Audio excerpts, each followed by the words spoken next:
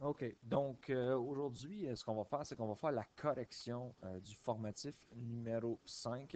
Alors, je vais passer au travers de chacun des exercices, faire certain qu'on est tous sur la même page et que les concepts ont été bel et bien acquis. Donc, premièrement, ici, on a, dans la question 1, il fallait développer des expressions, puis ensuite simplifier le produit. Donc, on a vu en salle de classe que tu faisais tout simplement faire tes flèches dans ce cas ici. Alors, tu vas avoir x fois x qui est x au carré, x fois moins 9 qui est moins 9x, 8 fois x qui est plus 8x, et ensuite tu vas avoir 8 fois négatif 9 qui va être moins 72. Donc, lorsque tu regroupes ton information, tu vois que le moins 9x c'est le plus 8x, donc moins 9 plus 8, ça donne moins x, moins 72 comme expression finale ici. Si on continue avec le prochain, donc encore une fois, je vois que c'est lui fois lui, plus lui fois lui, plus lui fois lui, plus lui fois lui. Donc j'ai 2x fois x qui est 2x au carré. 2x fois négatif 5 qui est moins 10x. 3 fois x qui est plus 3x. Et 3 fois moins 5 qui est moins 15. Alors tu regroupes tes termes communs. Tu vois que le moins 10x et le plus 3x peuvent être regroupés. Donc ça, ça va nous donner moins 7x moins 15. Donc voilà la forme simplifiée de ceci. Pour le prochain, encore une fois, on veut développer. Alors j'ai 3x fois 2x. N'oubliez pas, hein, coefficient fois coefficient premier. Donc 3 fois 2, ça c'est 6. Puis il y a 2x qui se multiplient, donc ça donne x au carré. 3x fois négatif 3, ça c'est moins 9x. Moins 1 fois 2x, c'est moins 2x. Et moins 1 fois moins 3, c'est plus 3. Alors, tu regroupes tes termes communs. Moins 9 moins 2x, c'est moins 11x. Plus 3. Et voilà ma réponse. Pour euh, x moins 7 au carré, donc une des choses que les gens oublient souvent, au carré veut dire fois lui-même. Donc ça, c'est la même chose que dire x moins 7 fois x moins 7. Ce qui te permet donc de refaire les mêmes étapes dans cette situation-là. Alors, x fois x qui est x au carré, euh, x fois négatif 7 qui est moins 7x, moins 7 fois x c'est moins 7x, moins 7 fois moins 7 c'est plus 49. Donc, ça donne x au carré moins 14x plus 49 comme réponse finale. Euh, en dernier, il y avait 3x moins 2 au carré. Donc, encore une fois, c'est comme tantôt. C'est comme dire 3x moins 2 fois 3x moins 2. Tu fais tes flèches. Donc, 3x fois 3x. Donc, 3 fois 3, c'est 9. x fois x, c'est x au carré. 3x fois moins 2, ça c'est moins 6x. Moins 2 fois 3x, c'est moins 6x. Moins 2 fois 2, fois moins 2, pardon, c'est plus 4. Donc, c'est un 9x au carré moins 12x plus 4 comme réponse. Prochainement, c'est un peu plus difficile. On parle de factorisation. Alors, on n'oublie pas, ça, c'est quand tu vas avoir comme x plus quelque chose fois x plus quelque chose, etc. Donc, c'est de partir de la forme, essentiellement, c'est comme on a ici, là. Partir de cette forme-là et aller vers cette forme-là quand on factorise. Donc, le truc qu'on a démontré en classe, c'est, j'appelle ça les nombres magiques. Il y en a d'autres qui appellent ça produit somme. Donc, tu dis deux chiffres qui se multiplient ensemble pour, n'oubliez pas, ça c'est comme A, B, C, hein, dans AX au carré plus BX plus C pour l'équation du second degré. Donc, deux chiffres qui se multiplient ensemble qui donnent ton C et deux chiffres qui s'additionnent ensemble qui donnent ton B. Dans ce cas ici, le B est 3. Et le, oh, excuse, le C est 3 et le B est négatif 4. Donc, je veux deux chiffres qui se multiplient ensemble pour donner positif 3, mais quand je les additionne, ça donne négatif 4.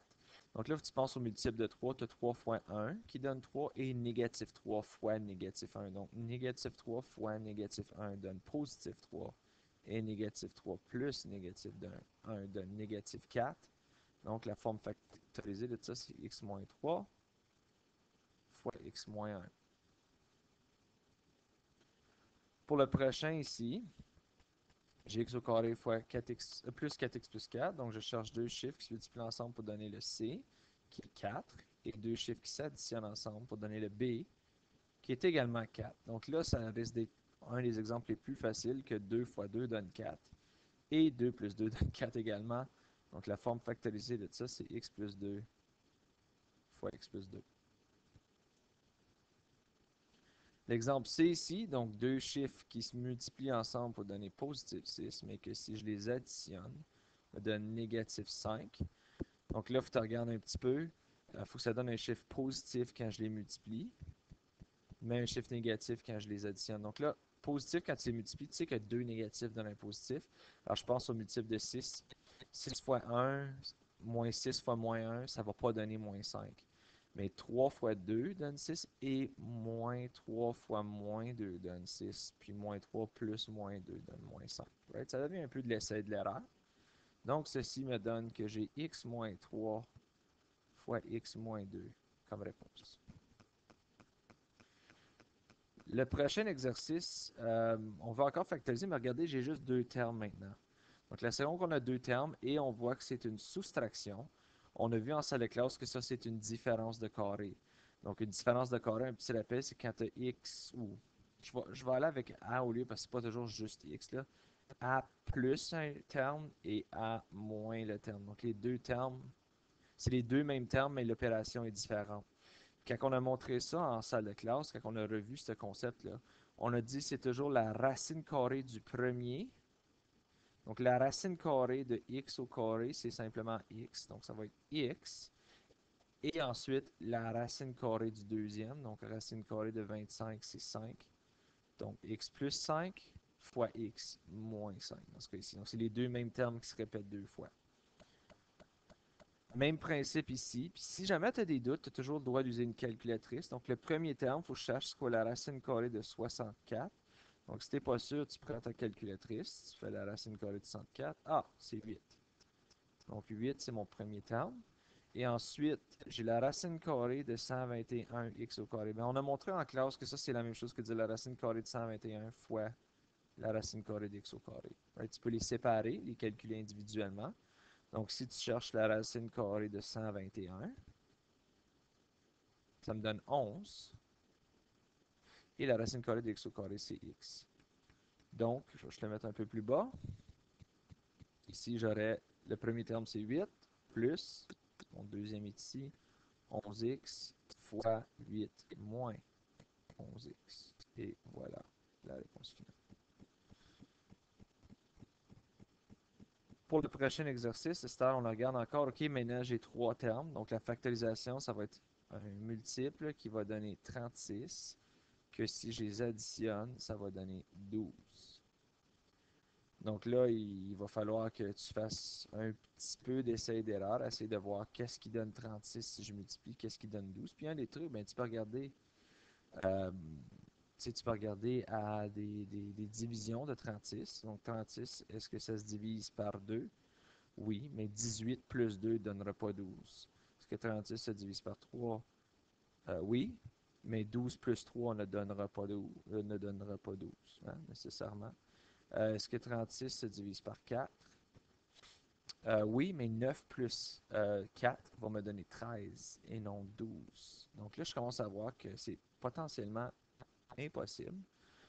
donc 36 divisé par 6. On va essayer 36 divisé par 6. Oh, là! 6 fois 6 donne 36. Donc là, je vois que 6 fois 6 donne 36, 6 plus 6 donne 12. Donc même si tu te décourages, comment il n'y en a pas, continue à essayer jusqu'à ce que tu vas trouver potentiellement les deux chiffres. C'est vrai que des fois c'est impossible, mais dans ce cas ci il ne fallait pas décourager. On a vu que ça donne x fois x plus 6 fois x plus 6. OK, le numéro 3, c'est plus un exemple de mise en application. Donc, on veut, euh, donc vous avez vu ceci sûrement en 9e année, c'est une forme à l'intérieur d'une autre. Euh, donc, je veux savoir, c'est essentiellement, c'est quoi la différence entre l'horaire? Donc, essentiellement, c'est l'air de l'espace ici que je veux. Hein. Je vais enlever le petit carré à l'intérieur. Donc, l'air, euh, on va dire de l'espace ombré ici, ça c'est l'air du grand rectangle moins l'air du petit rectangle. Et l'air, c'est juste base fois hauteur. Donc, l'air du grand rectangle, mais la base est 5x moins 2. Ça, c'est multiplié par la hauteur du grand rectangle qui est x plus 3. Tout ça moins la base du petit rectangle, c'est x plus 2, multiplié par la hauteur du petit rectangle qui est x plus 1. Donc l'aire de la région ombrée, là, regardez, ça revient à ce qu'on faisait avant. Tu peux faire tes flèches, tu peux développer chacune de ces expressions-là individuellement. Donc si je regarde, 5x fois x, donc ça c'est 5x au carré. 5x fois 3 c'est plus 15x. Moins 2 fois x c'est moins 2x. Et moins 2 fois 3 c'est moins 6. Tout ça moins. Là je vais ouvrir une parenthèse parce que c'est moins toute la multiplication. Donc x fois x c'est x au carré. x fois 1 c'est x. 2 fois x c'est 2x. Et 2 fois 1 c'est 2. Alors là je peux regrouper les termes communs. Donc, je vois que j'ai 5x euh, au carré. 15x moins 2x, c'est plus 13x moins 6. Et ici, moins, j'ai x au carré plus 3x plus 2. Maintenant, je peux distribuer mon négatif à l'intérieur de la parenthèse. Donc, ça me donne 5x au carré plus 13x moins 6. Là, ça va changer le signe de tout. Hein? Donc, moins x au carré moins 3x, moins 2. Et maintenant, tu peux regrouper tes termes communs. Donc, 5x au carré moins x au carré, c'est 4x au carré. 13x moins 3x, c'est plus 10x. Et moins 6 moins 2, c'est moins 8. Donc, voilà l'aire de cette région-là. Pour la question 4, euh, ça c'est un peu différent parce qu'on a un jardin. Oups tableau, il fait ce qu'il veut. On a un jardin et on dit que l'aire de ce jardin, c'est x au carré plus 12x plus 36. Donc, on veut savoir une expression qui démontre la longueur, la base et la hauteur essentiellement, ou la longueur et la largeur du jardin. Alors là, tu l'as développé. Il faut le factoriser dans une multiplication qui est longueur fois largeur. Donc, il faut que je figure c'était quoi ça et c'était quoi ça. Donc, quelle multiplication a donné cette aire-là? Alors, en principe, ce que je suis en train de faire, c'est que je suis en train de faire la factorisation, qui est quoi fois quoi qui donne 36 et quoi plus quoi qui donne 12. Ce qui est le fun, c'est que, je l'ai fait ici, cet exemple-là. Donc, je peux aller juste dire, OK, bon, ben je sais que ça, c'est 6 fois 6 et 6 plus 6. Donc, l'air, c'est x plus 6 fois x plus 6. Alors là, tu peux écrire que ça ici, c'est x plus 6 par x plus 6. Voilà les deux dimensions de ce jardin-là. En dernier, pour la dernière question, on, avait, euh, on demandait de déterminer une expression qui représente la différence entre les aires de ces deux carrés. Donc, on voulait avoir les expressions dans leur forme factorisée. Alors, euh, ici, si on regarde à ce carré-là, donc ce sont deux carrés. Donc ça, ça veut dire que le, carré ici, c'est 3x par 3x, et ça, c'est 4 par 4. Donc, si je veux la différence de l'air, donc l'air, encore c'est comme la région ombrée que vous avez vu en 9e année, ça serait l'air du grand carré moins l'air du petit carré. Alors, le grand carré, ben, longueur fois largeur, donc 3x fois 3x, alors ça c'est 3x au carré, moins 4 fois 4 qui est 4 au carré. Alors maintenant, je vois que j'ai, on n'oublie pas, ça c'est 9, parce que si vous voulez, si vous ne le voyez pas, c'est comme dire 3x fois 3x moins 4 fois 4. Donc si vous ne le voyez pas, c'est correct. 3 fois 3, c'est 9. x fois x, c'est x au carré. Puis 4 fois 4, c'est 16. Mais là, on demandait de l'exprimer dans sa forme factorisée. Mais il y a deux termes. Right? Donc, s'il y a deux termes, je sais tout de suite c'est une différence de carré. A plus B fois A moins B. Donc, j'ai juste besoin de savoir quelle est la racine carrée du premier. Donc, la racine carrée de 9x au carré. Bien, la racine carrée de 9, c'est 3. La racine carrée de x au carré, c'est x. Et ensuite, la racine carrée du deuxième terme, qui est 4. Donc, 3x plus 4 fois 3x moins 4. C'est la forme factorisée de ceci. Alors, ceci met fin à la correction de ce formatif. Si vous avez des questions, n'hésitez pas à communiquer avec moi.